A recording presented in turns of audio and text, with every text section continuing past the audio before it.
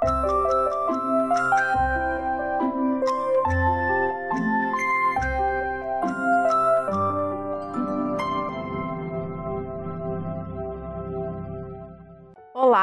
a paz do Senhor Jesus a todos.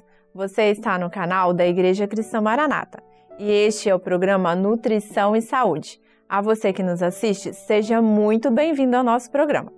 Você também pode nos acompanhar, além do canal do YouTube da igreja, como também pelos canais de televisão, pela TVRO no canal 126 e pela Sky Livre no canal 85. E no programa de hoje eu trouxe aqui uma convidada que vai conversar comigo sobre o tema Oncologia e a Nutrição. Seja muito bem-vinda, Gislaine, ao nosso programa. Obrigada, um prazer estar aqui. Então, a gente, né, antes da gente iniciar o nosso tema, eu gostaria que você falasse para o pessoal que está nos assistindo é, a sua área de atuação. Sou nutricionista oncológica e também renal. Atuo desde, desde antes de me formar nessa área da oncologia, a qual me apaixonei, fui introduzida e é complexa, mas é muito gostoso trabalhar quando a gente vê o que a nutrição pode fazer de tão positivo para esses pacientes durante o tratamento e pós-tratamento também. Muito interessante. Então, para a gente iniciar aí, é, qual seria a definição né, de câncer? É um, é um tema bem é, complexo, né, como você disse, porque às vezes tem muitas pessoas que ficam né, ali aflitas com, essa, com esse nome, mas o que seria o câncer? É um termo utilizado que abrange mais de 100 tipos de doenças malignas, tá? que tem em comum o crescimento desordenado das células, que podem invadir os outros tecidos, os órgãos, próximo como também a distância. E, e, como é que surge o câncer? Então, a partir de uma mutação genética né, no DNA, que tem essa alteração da célula, que passa a receber instruções erradas para as suas atividades. E qual seria a, uma causa então, há diversas causas, né? Tanto externas, que 80 a 90% é causada por conta disso. Então, estilo de vida, né? O que inclui sedentarismo, trabalho, é, alcoolismo, tabagismo então, e principalmente né, a alimentação. E fatores internos também, que hormonais, que também precisam que esses fatores externos influenciem nos fatores internos. Entendi. E em relação a tratamento, é, quais, quais são os tratamentos que a gente tem hoje? Quimioterapia, radioterapia, cirurgia e hormonioterapia e também transplante de medula óssea. Então, assim, ao receber o diagnóstico, a gente tem que pensar também que já existem tratamentos e tratamentos avançados, inclusive disponíveis pelo SUS. Muito bom. E é assim, é, de acordo com o tipo de, de câncer, é que vai ter aí o tipo de tratamento, então, né? Isso, são feitos exames, biópsias, vários exames para o médico e também o cirurgião é, definir qual tipo de quimioterapia. E também tem os protocolos, se vai fazer químio e rádio, se vai fazer químio, cirurgia, depois radioterapia, se vai ser químio, posteriormente hormonioterapia. Então, é, são passos né, do tratamento. E tem algum impacto aí é, em relação à alimentação e o surgimento da doença? A alimentação é, e a nutrição inadequada são classificadas como a segunda causa que pode, de câncer né, que pode ser prevenida. Então, dentre os fatores, a alimentação é a segunda e que pode ser prevenida. E isso são dados do INCA, né, o Instituto Nacional do Câncer. E como que deve ser, no caso, a alimentação? Então, a nossa alimentação, buscando, partindo do princípio de alimentação saudável, uma alimentação de origem vegetais, com grãos, frutas, né, verduras, legumes, e a gente tem algo muito rico aqui no Brasil, que é o Guia Alimentar da População Brasileira, pouco conhecido pela população, infelizmente, que até tem a parte resumida, que são os 10 passos para alimentação saudável. Às vezes a gente consome tanto conteúdo da internet sem comprovação científica, de blogueiro, aquela com tanta dificuldade, tirando tanta coisa desnecessária e introduzindo tanta suplementação E a gente tem um material tão importante que é o Guia Alimentar da População Brasileira, que é literalmente para a população brasileira, foi estudado aqui com nossa cultura, com os hábitos brasileiros, com os alimentos que aqui tem, com as estações que aqui tem. Então, é muito rico, é uma fonte confiável e assertiva que a gente pode ler, ter acesso e aprender a se alimentar melhor. Eu acredito que hoje em dia, é, na população, é, tanto brasileira quanto lá fora também, os produtos industrializados eles estão muito em alta, né? E o risco de doença vem aumentando por causa desse consumo, né? De, de alimentos mais industrializados. Então a gente deveria, né? Tomar mais cuidado, né? Esse guia é super importante, né? E assim, tá disponível para todo mundo, quem quiser olhar na internet os 10 passos da alimentação saudável, já fica a dica aí para você de casa. É, em relação ao, ao, primeiro contato ali com o paciente e o nutricionista, o que, que é feito?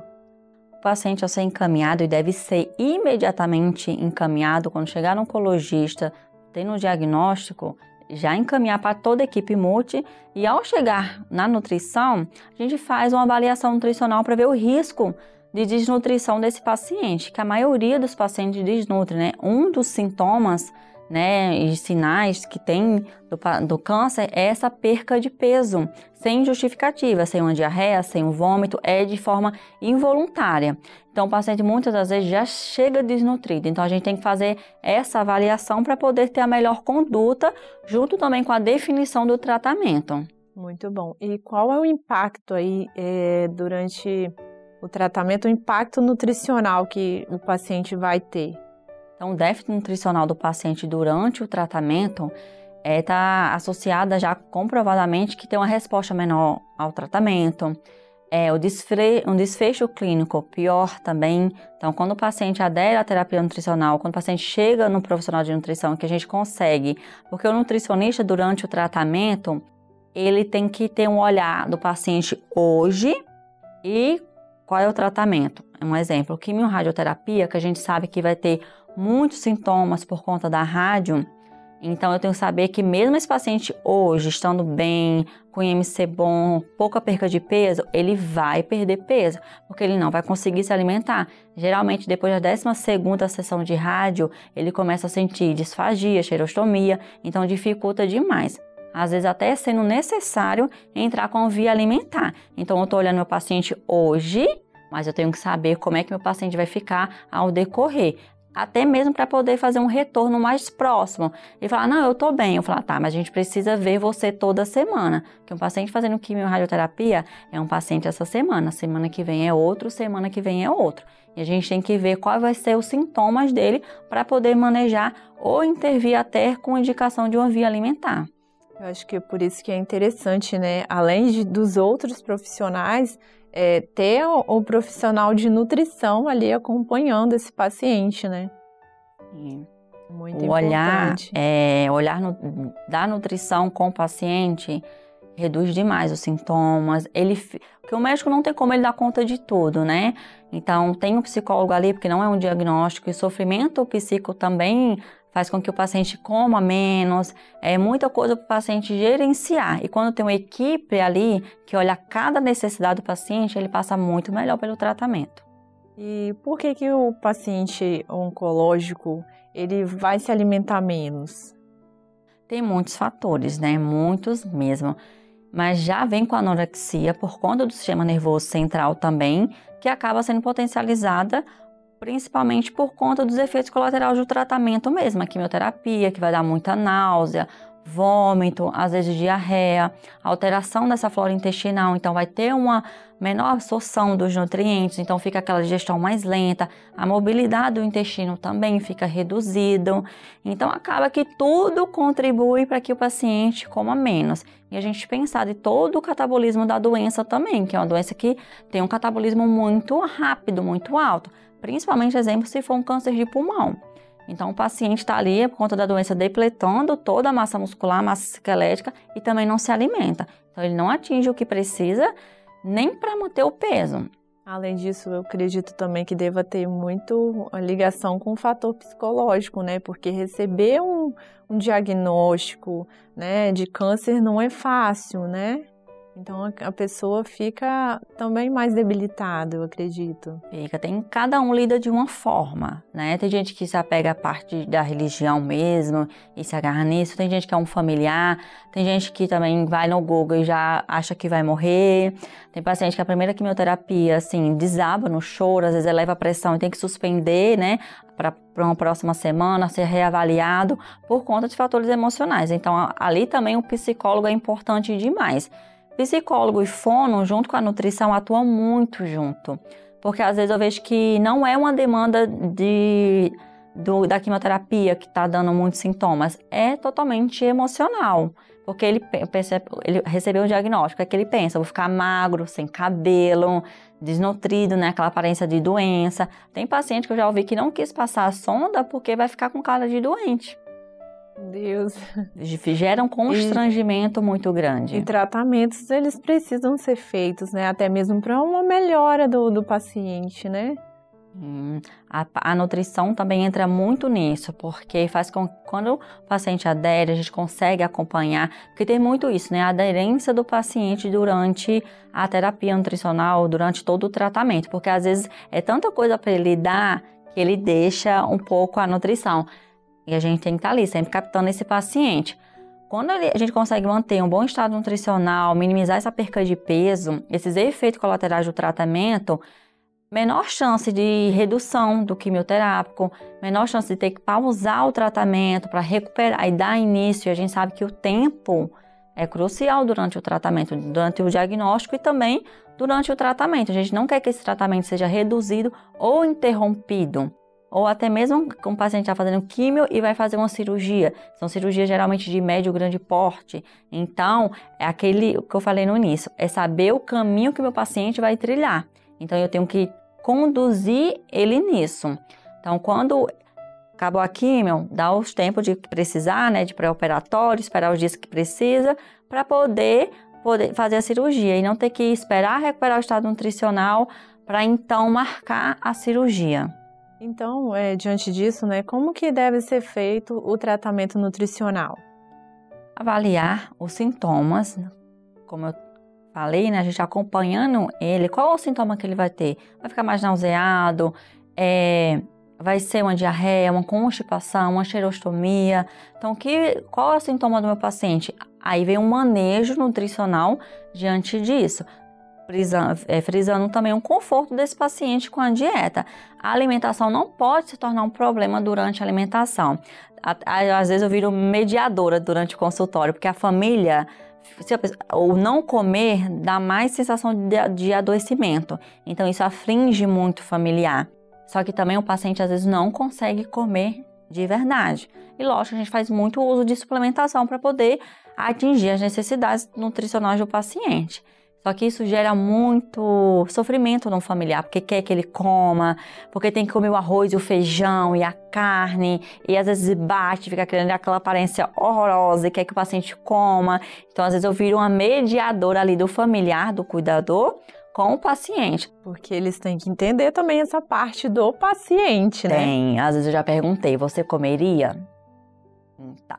Se colocar no lugar do outro, né? Isso, porque sai daquela daquele aquele pensamento, né, ali de não, ele tem que comer. Isso, e na comer... verdade, né, não é que ele tenha que comer, ele precisa estar bem, né? Isso, então sai daquele, desse sofrimento só de focar na alimentação, mas entender o tratamento como um todo, acolher esse paciente, Exatamente. que a família tem um papel importantíssimo durante o tratamento, muito importante.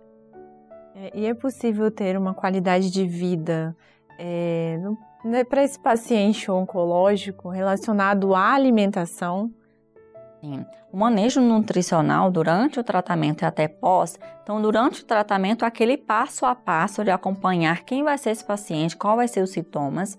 E principalmente, eu acho uma coisa bacana de se pontuar a importância da hidratação durante o tratamento. Eu sempre falo para meus pacientes: sabe qual vai ser quem vai ser sua melhor amiga durante o tratamento? A água. Se você se hidratar, manter uma boa hidratação, você vai eliminar essas toxicidades, menos efeito colateral você vai sentir.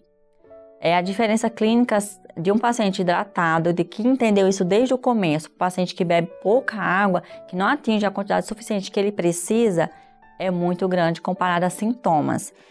Se ele tem menos sintomas, mais fácil para ele se alimentar, mais fácil manejar esse paciente. Muito interessante. E assim, né, para a gente finalizar, é, tem alguma vivência, é, você como nutricionista nessa área, que você queira falar, queira complementar? Pegando bem o gancho da nutrição, eu sempre ve vendo hoje né, a nossa realidade, na, na nossa profissão, trazendo para a realidade oncológica, eu vejo muito a questão da suplementação. A suplementação durante o tratamento é essencial, mas tem que ser assertiva. Então, chá de todo tipo, babosa cozida, eu já vi coisas, pacientes chegar lá comendo coisas que eu, pera ainda, deixa eu ver que alimento é este, deixa eu pesquisar. Folhas, então tem que ter cuidado por conta da interação com o quimioterápico, também com algum risco é, renal, risco cardio, cardiovascular, então tem que saber o paciente oncológico não pode tomar nada que seja antioxidante durante o tratamento. E quando a gente entende que a, do, a doença, né, o câncer, é um conjunto de mais de 100 tipos, então eu posso ter um tipo, você ter outro tipo. E às vezes até ser a mesma doença, mas o tratamento proposto é diferente. E nossa individualidade também bioquímica. Cada um responde de um jeito. Então, o que serve para você muitas vezes não pode servir para mim. Então, assim, a suplementação, que é onde eu vejo mais que aparece, chás, garrafadas, que essas, esses garrafadas, esses chás que são distribuídos nessas vendias, que muitas vezes a fiscalização não é tão boa, tão efetiva. Então, ah, é a planta, mas que parte da planta? Qual é a concentração que é utilizada? Para aquele peso do paciente, qual a dosagem? Muitas vezes não sabe dizer. Então, a gente sabe hoje que o módulo de proteína é super assertivo, o ômega 3 está mais de comprovado a sua eficácia durante o tratamento. Eu falo que é duas bases, né? O módulo de proteína e o ômega 3, mas também um bom carboidrato, né? Tem que ser utilizado. Então, o olhar tem que estar tá nisso e muitas vezes o menos é mais quando vem da suplementação. Muito bem, então já fica a dica aí, gente. Procura um profissional né, da área para a gente não sair aí comendo o que não deve, né? A gente precisa de saber o que que, o que, que cada um pode consumir ou não. Então, para a gente finalizar o programa, eu, geralmente eu gosto de deixar um texto bíblico, né, para nossa reflexão. E hoje vai estar lá em Salmo 103, é, versículo 1, que nos diz assim: Bendize, ó minha alma, ao Senhor, e tudo o que há em mim, bendiga o seu santo nome. Queridos, é, falar de saúde e doença é sempre uma questão bem delicada de se falar. É, algumas doenças nos trazem preocupação, medo, insegurança, mas nós precisamos é, saber que tudo está no controle de Deus e que Ele é o médico dos médicos e tem o poder para curar e resgatar o homem. Em tudo na nossa vida, a gente tem um propósito e algumas pessoas passam pela prova da enfermidade para uma experiência e até mesmo conversão de alguém. Esperamos, né, com este assunto, ter ajudado você de alguma forma a entender este tema. Já quero te agradecer né, pela participação, já está convidada a retornar ao nosso programa. Muito obrigada pela, pelo esclarecimento aqui. Eu que agradeço, uma oportunidade muito rica de estar aqui, conhecendo esse espaço, conhecendo esse programa. Ganhou uma telespectadora, com certeza. Muito obrigada. e este foi mais um programa de nutrição e saúde. Te aguardo na semana que vem para mais um tema relevante. Até mais!